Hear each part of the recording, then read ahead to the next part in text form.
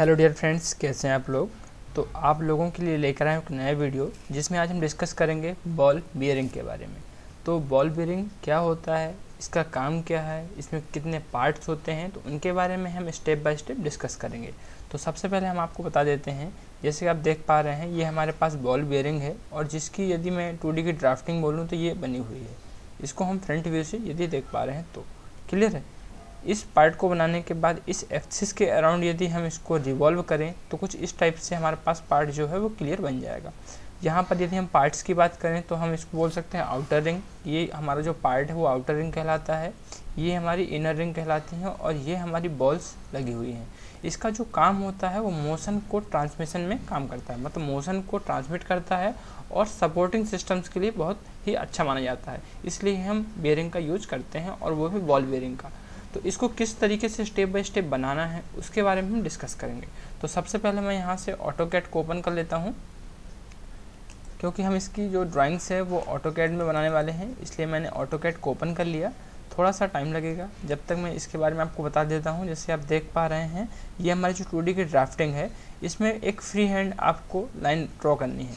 कितनी की ड्रॉ करनी है? आप कोई भी डायमेंशंस की एक लाइन को ड्रॉ कर सकते हैं और ये लाइन जो हमारी है वो फिक्स है। ये एक्सिस है हमारी जो सेंटर लाइन है क्लियर है?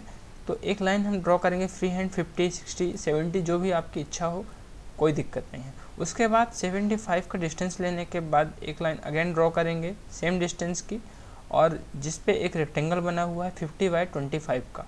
तो सबसे पहले हमने ऑटो कैट को यहाँ पर ओपन कर लिया है आप देख पा रहे होंगे और स्टार्ट ड्राइंग करते हैं। मेरे पास यहाँ पर ऑटो के ट्वेंटी वर्जन है। इसके पहले जो मैंने वीडियो बनाया था, वो 2023 पे था लेटेस्ट वर्जन था। कोई फ़र्क नहीं पड़ता है, उसके कौन से वर्जन पे बना रहे हैं।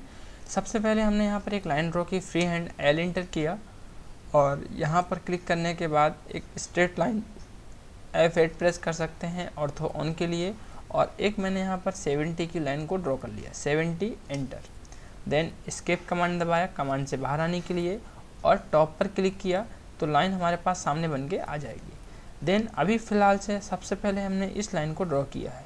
इसके बाद आपको एक लाइन और ड्रॉ करनी है, जिसका डिस्टेंस हमारे पास 75 है और एक सेम लाइन बनी हुई है। तो यहाँ जाने के बाद हम अगेन लाइन को ही क्लिक करेंगे और इस लाइन को सिलेक्ट करने के बाद इसका हम ऑफ़ सेट लेंगे, ओ एंटर, अगेन 75 एंटर। और अपर डायरेक्शन पर क्लिक कर देंगे तो हमारे पास यहाँ पर एक 75 के डिस्टेंस पर एक लाइन ऑटोमेटिक क्रिएट हो जाएगी। उसके बाद अगेन जो हमारे पास पार्ट है, आप देख सकते हैं, एक रेक्टेंगल को ड्रॉ करना है। और वो जो रेक्टेंगल है, वो 50 बाई ट्वेंटी का है। तो 50 बाई ट्वेंटी का रेक्टेंगल को क्रिएट करने के लिए अगेन हम रेक्टेंगल कमांड को लेंगे देन एंटर प्रेस करने के बाद क्लिक करेंगे बेस पॉइंट पर, और यहाँ पर हम लिखेंगे 50 बाय 25 देन एंटर तो आप देख सकते हैं 50 बाई ट्वेंटी फाइव का एक रेक्टेंगल ड्रॉ हो जाएगा। उसके बाद हमारे पास जो नेक्स्ट पार्ट है, यहाँ पर एक 30 के डिस्टेंस के बाद एक हमें अगेन रेक्टेंगल को ड्रॉ करना है, जिसका डायमेंशन 50 बाई ट्वेंटी है। 30 नीचे आना है, उसके बाद 50 बाई ट्वेंटी का एक रेक्टेंगल को ड्रॉ करना है।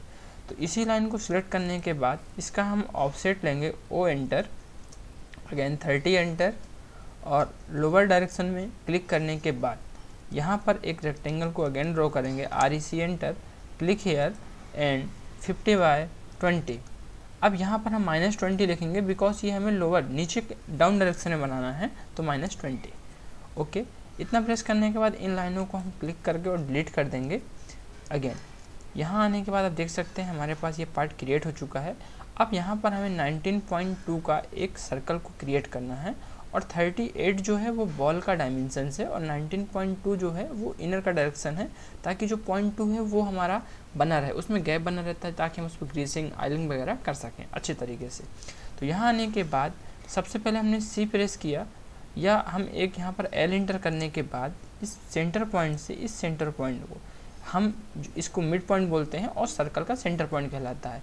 यहाँ क्लिक करने के बाद एक अगेन ड्रॉ करेंगे लाइन मिड पॉइंट से यहाँ जाने के बाद जिसका डायमेंशन रहेगा 19.2 ओके फ्रेंड्स तो इतना हम क्लियर बना चुके हैं।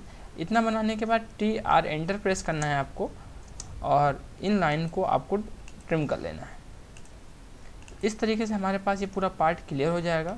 और यहाँ पर आपको अगेन ड्रॉ करना है थ्री में जाने थ्री में जाना है और इसके बाद ये आपको बॉल्स को क्रिएट करना है। यहाँ पर आप काउंट कर सकते हैं जो बॉल्स हैं, वो नंबर ऑफ़ एट बॉल्स हैं first second third fourth fifth six seventh eight हमारे पास टोटल एट बॉल्स हैं और एट बॉल्स बनाने के लिए यहाँ पर हम यूज़ करेंगे स्फेयर कमांड का। तो आप थ्री में भी जा सकते हैं या आप चाहें तो शॉर्टकट भी लगा सकते हैं। यहाँ पर थ्री मॉडलिंग थ्री बेसिक का यूज़ करने के बाद आप क्लिक करें और यहाँ जाने के बाद आपको स्फेयर का यूज़ करना है। आप देख सकते हैं स्फेयर फ़िलहाल से मैं यहाँ पर शॉर्टकट ही यूज़ कर रहा हूँ। आप क्लिक कर सकते हैं स्फेयर में। और यहाँ जाने के बाद सिंपली क्लिक करना है।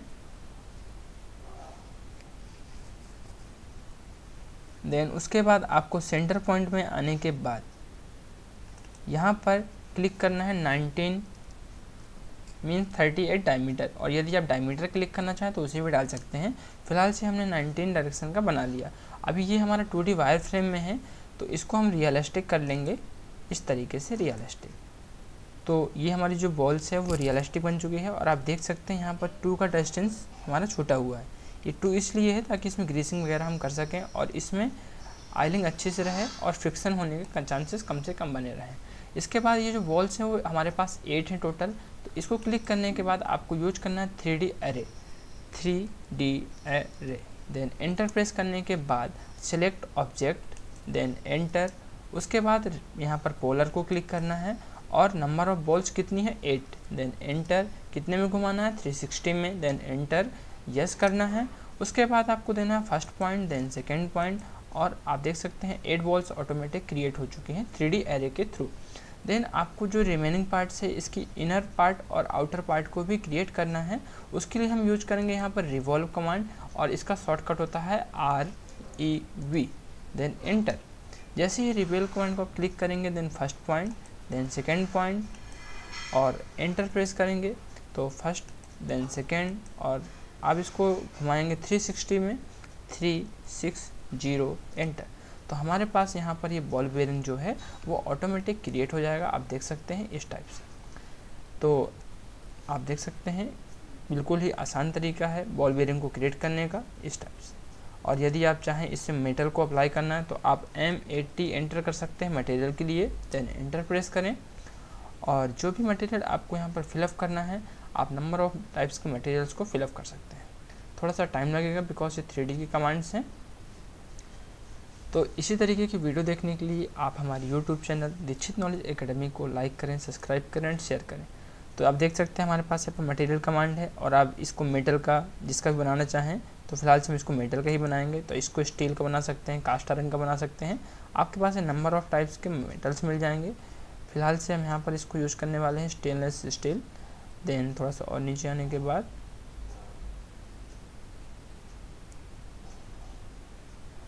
फ़िलहाल से स्टेनलेस स्टील को क्लिक करेंगे देन आप इसको अप्लाई कर सकते हैं। तो इस टाइप से हमारे पास जो ये मटेरियल है, वो बन जाएगा। इसको आप किसी भी तरीके के मटेरियल्स के बना सकते हैं, ये देख सकते हैं आप। तो इसी तरीके की वीडियो देखने के लिए आप हमारे YouTube channel Dikshit knowledge academy को लाइक करें सब्सक्राइब करें शेयर करें। Thank you friends